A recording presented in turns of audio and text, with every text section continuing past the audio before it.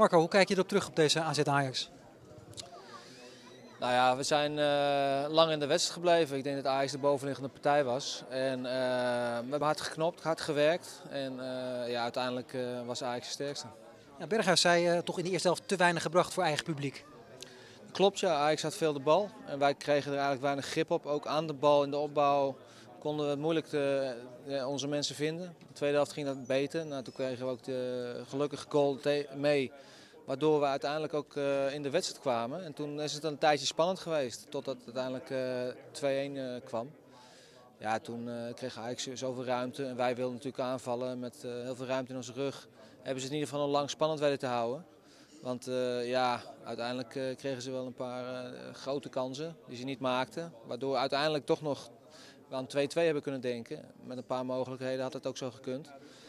Uiteindelijk winnen ze met 3-1 en dat was denk ik ook wel naar verhouding.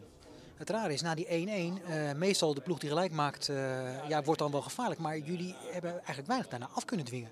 Ah, ik denk wel dat wij toen goed in de wedstrijd zaten. Hadden we meer de bal dan zij, hadden we meer initiatief. ja, ook dan moet je natuurlijk wel weer kansen creëren. Een paar kansen hebben we wel gehad.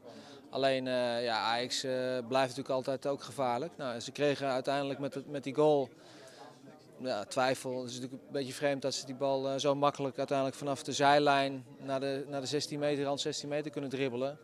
Daar moet wel wat beter mee om worden gegaan. Uh, uiteindelijk is dat wel een beslissend moment geweest. Ja, toen was het uh, gelopen en ja, denk ik dat je tevreden bent dat het maar 3-1 blijft.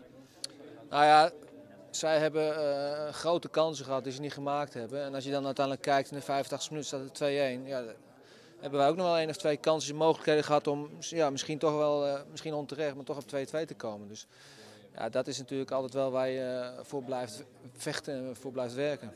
Vind je wat opstootje in de laatste minuut? Ja, dat hoort niet, maar goed, dat, dat kan gebeuren. Irritatie, frustratie? Tuurlijk, ja, de jongens zijn ook niet blij als, het, als je verliest.